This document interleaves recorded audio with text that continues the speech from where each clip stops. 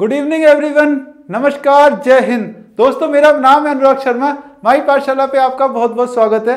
अभी अभी एसएससी की तरफ़ से एक बहुत इंपॉर्टेंट नोटिस जारी किया गया है और वो नोटिस हमारा रिलेटेड है service provider for CBT exam in एसएससीज़ कहने का मतलब क्या है? एस जो भी एग्ज़ाम अपने लेती है, उसमें जो सर्विस प्रोवाइडर होता है, जो कि कंडक्ट करने के लिए एग्ज़ाम को जिम्मेदार होता है, उसका टेंडर अभी कैंसिल हो गया है। तो अभी कौन एग्ज़ाम कंडक्ट कराएगा, उस पर हम डिस्कशन करने वाले हैं। पहले नोटिस में आपको दिखा दूँ।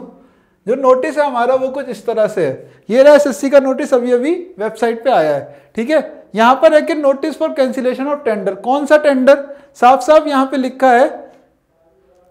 देखो जो इन्होंने पब्लिश किया था, अपना जो टेंडर पब्लिश किया था फरवरी में फरवरी में नहीं, दो ग्यारह, यानी कि नवंबर में, दो ग्यारह, नवंबर 2023 में जो इन्होंने अपना टेंडर जो पब्लिश किया था, वो अब कैंसिल हो गया, ठीक है? और वो किसके लिए था?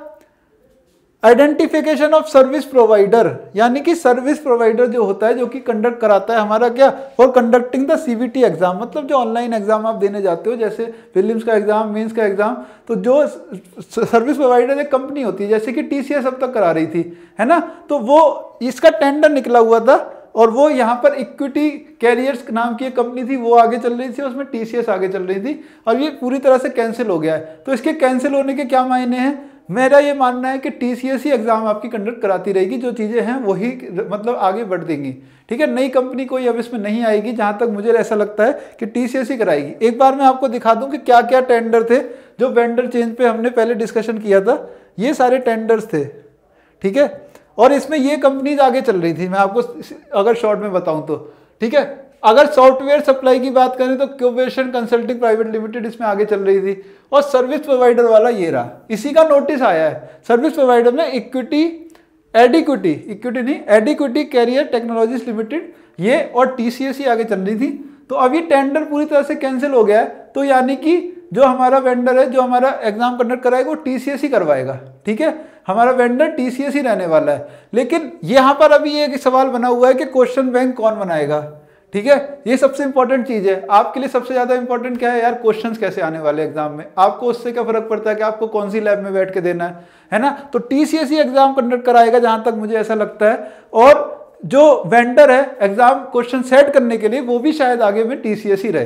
क्योंकि अभी ये फाइनलाइज नहीं हुए हैं। अभी तक इन पे कोई फाइनलाइजेशन नहीं हुई है।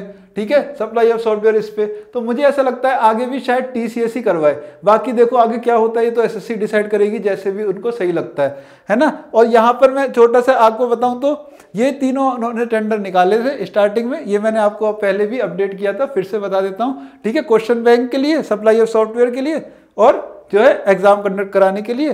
तो वहाँ पर जो देखने को मिला वो ये चीज़ें थी कि ये ये कंपनीज़ आगे चल रही थी वहाँ पर। है ना? क्वेश्चन बैंक में C N K management, integrated learning solution, आपको ये कंपनीज़ का नाम थोड़ी ना याद करना है। मेन इंपॉर्टेंट बात यह कि क्वेश्चन बैंक अब कौन बनाएगा? इसका भी जो है जल्दी हमें पता चल जाएगा। अब ये अपडेट आई है तो इसकी भी अपडेट आ जाएगी। हो सकता है ये टेंडर भी कैंसिल हो जाए और टी आपका करवाए, या फिर टी जो है उसमें जीते। तो ये जल्दी पता चल जाने वाला है। तो मुझे यही अपडेट आप लोगों के साथ शेयर करनी थी इंपॉर्टेंट तो अभी आप ये मान के चलो, जो आपका एग्ज़ाम कंडक्ट होगा टी सी सी कराएगी सेम टाइप की लैब्स में जाके दोगे।